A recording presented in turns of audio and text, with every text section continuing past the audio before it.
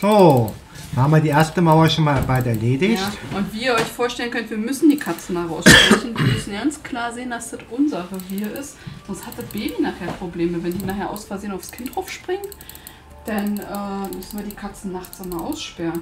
Und normalerweise lassen wir die Tür offen, dass sie halt drin können zu uns ins Zimmer. Weil die schlafen auch manchmal hinter uns oder so. Ja, stimmt. Mann, ey. Ich merke es, wenn ich irgendwelche Pfoten äh, ständig äh, an mich angestoßen bekomme, weil sie im Traum denken, sie müssten jagen. Na, ich finde der nachts schön, wenn ich mich umdrehe, mich langstrecke und aus Versehen der Katze in den Hintern dreht. und erstmal verwirrt bin, weil ich gar nicht wusste, dass da eine Katze liegt. Na, die wusste dann, dass sie dann da weg sollte. Also wie oft der Kater schon aus Versehen von mir einen Tritt in den Hintern bekommen hat, weil ich mich auf dem Bett im Schlaf umgedreht habe. Ja, so ähnlich sah es dann aus. Es war eine gute Demonstration. So ähnlich sah es dann bei mir auch aus. Weil ganz ehrlich, wenn man nicht weiß, dass da ein Tier ist, ist man ja auch nicht vorsichtig beim Umdrehen. Man streckt sich halt. Und wenn man vorher mit angewinkelten Beinen lag, dann schubst man halt die Katze aus Versehen mit voller Kraft runter. So, das ist der große Parkplatz. Ich mache mach später hier noch eine Zufahrt an der Stelle. Und jetzt fliege ich hier erstmal durch diesen Tunnel. Gönn dem Schaf mal als ersten Besucher das erste Auto. Obwohl, ob, als ob das Auto fliegen, äh, als ob das Schaf äh, fahren könnte. Ja, wie bei Zookeeper. Da konnte der eine mit den Fahrzeugen ja fahren. So, dann fliege ich mal.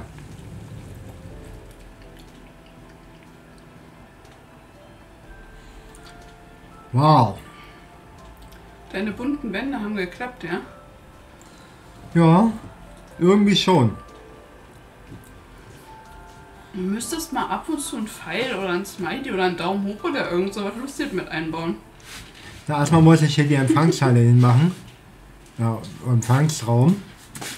Der dann direkt in die Wüste zeigt.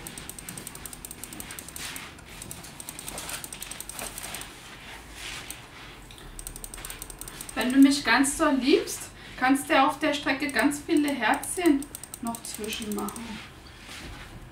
Na, ich muss erstmal, wie gesagt, hier den Durchbruch schaffen. Ist hier im Job was Wichtiges und das noch? Oh, das ist ja super gekocht. Riecht komisch. Möchtest du auch noch irgendwas Du musst es ja nicht essen. Oh, ich stoß mit dem Bauch immer überall ran, ey. Vergess manchmal, wie dick ich bin. Möchtest du auch noch irgendwas naschen? Ähm, nee.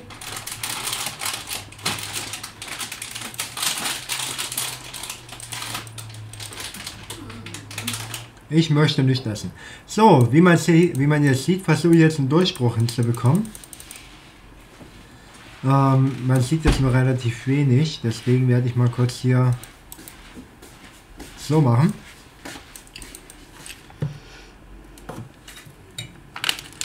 Und mal schauen, dass ich auch mal bald durchkomme. Irgendwann muss man ja immer durchkommen, ja. Also nicht, dass ihr euch wundert, ich esse gerade gefüllte Lebkuchenherzen. Wir haben kurz vor Weihnachten normalerweise. Das nehme ich mir seit bestimmt schon fünf oder sechs Jahren vor.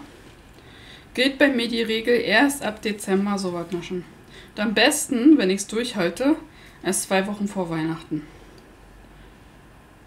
Ich halte es nicht mehr durch. äh, dieses Jahr ist Ausnahme. Ich hoffe nur, meine Waage nimmt mir das nicht zu übel. Aber ich habe jetzt nicht so mega viel zugenommen. Eigentlich müsste das. Eigentlich habe ich mich so ein bisschen unter Kontrolle wenigstens. Ich ja natürlich auch. Also ich, also ich esse natürlich wie ein Weltmeister. Was? Ah, nicht?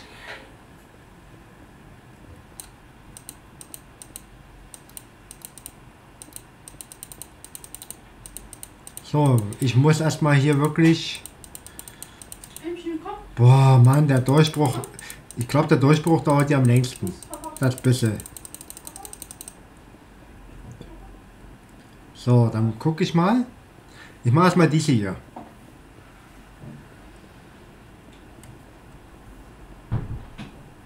Oh, ich liebe es, wenn die Katze hört. Ja, ich weiß, wie beim A-Team, das sagt man auch mal, ich liebe es, wenn ein Plan funktioniert. Katzi.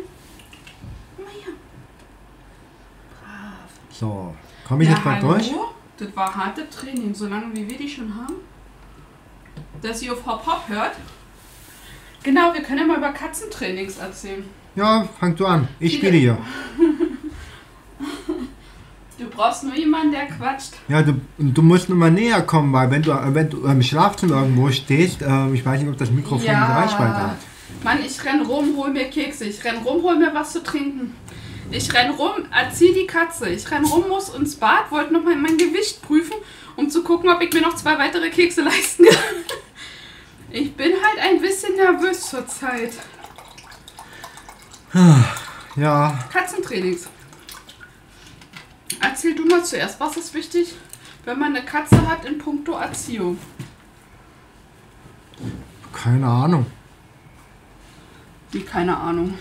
Einfach nur füttern und das war's? Dass er nicht kratzen soll. Welchen schönen Wochentag haben wir heute? Montag, ne? Ich glaube ja. Ja, dass er nicht kratzen soll, okay. Und wenn sie dich lieb hat, soll sie irgendwas können? Also, ich finde, das Problem ist immer, die Leute unterhalten sich darüber, wie ihre Hunde erzogen werden müssen. Was Ja. sie können müssen, was sie nicht dürfen, was sie machen dürfen und äh also ich meine, das Wow, ist kein ist. Problem. Eigentlich ist es gut, dass sich die Menschen damit beschäftigen. Ich finde, ein Problem ist, dass sich die Leute oft nicht mit ihren Katzen beschäftigen. Jedenfalls nicht so doll, wie sie es mit dem Hund machen würden. Nur weil sie der Meinung sind, dass, äh, dass Katzen das nicht ha- äh, äh, haben müssen. Es geht ja immer noch das Gerücht, dass Katzen schwer oder gar nicht erziehbar sind. Schwachsinn. Ähm, schwer? Ja. ich glaube, einem kleinen, mittelintelligenten Hund was äh, mit beizubringen, ist doch. Ähm, also, wenn der Hund euch lieb hat und der ist mittelmäßig intelligent, dann ist es auch leicht bis mittelschwer, dem was beizubringen, würde ich jetzt einfach mal behaupten. Wenn du eine Katze hast mit den gleichen geistigen Voraussetzungen, dann ist das schon eine kleine Levelsteigerung und ist dann schon für Fortgeschrittene, weil ihr braucht einfach mehr Zeit. Äh, bis die Katze sich euch so zugetan fühlt, dass sie euch als Mitkatze akzeptiert. Weil Katzen leben ja nicht so in klassischen Rudeln. Die sind eigentlich nicht davon abhängig, auf andere äh, positiv zu reagieren. Hunde sind von ihrem Wesen ja schon Gruppentiere und sind deswegen sozialer eingestellt. Katzen so. pff, Also weißt du, eine Person in meinem Leben reicht mir, aber das heißt noch lange nicht, dass ich mache, was die will. Katzen sind so wie eingebildete Single-Frauen, finde ich persönlich. Und da ist es egal, ob ihr ein Männchen habt oder ein Weibchen. Aber wenn ihr ein Weibchen habt, die sind kuscheliger, ist so meine Erfahrung. Und die hören schneller, weil wenn die für gutes Benehmen Kuscheln kriegen, und zwar richtig schön lange kuscheln, dann machen die eher, was- ihr von ihnen wollt. No? Ja.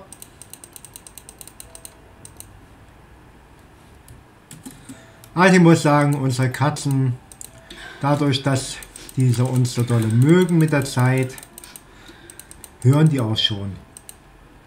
Gut, manchmal fragen sie, haben sie diesen Blick, Bahnhof, aber dann wissen sie aber danach auch, wie es äh, es weitergehen soll. Ich will selber immer kurz was essen.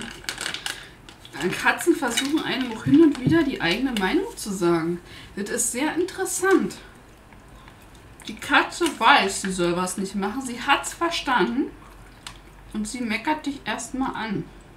So zwei, dreimal. Und erst wenn du ihr zeigst, dass du es richtig ernst meinst, dann, oh oh, der ist doch stärker. Weg ist okay. Also im Moment versuche ich den Katzen wirklich beizubringen, an diesen gewissen drei Orten, wo sie nicht pennen sollen. Da, wo sich das Baby viel aufhalten wird. Der Kater hat es ja schon oft genug probiert. Ähm, wir wachen immer mal wieder morgens auf und die Katze hat auf dem, auf dem Wickeltisch gepennt. Ja, die eine Wo ich Nacht denn denke, Mist, wie wollen wir das unterbinden? Weil wir haben hier halt nur ein Kinderzimmer, Wohnzimmer, Küche und unser Schlafzimmer. Natürlich möchte ich den die Möglichkeit geben, von A nach B zu laufen. Ist ja klar, ne? Wir könnten versuchen, sie aus dem Schlafzimmer auszusperren, aber dann gibt es ja erstmal die nächsten, schätze mal, drei Monate Radau. Vor allem, weil sie dann nicht mehr auf den Balkon können. Weil die gerne bei uns sind. Und weil die auch manchmal unter Bett schlafen oder an unserem Fußende oder keine Ahnung. Die mögen es halt, bei uns zu sein, wenn sie darauf Lust haben. Manchmal machen sie uns morgens wach. Hm, wenn sagen, geht. ey, ich hab Hunger, es wird kalt draußen, ich muss meine Speckreserven auffüllen. Dann wecke ich dich auch mal halb sieben, ist mir egal,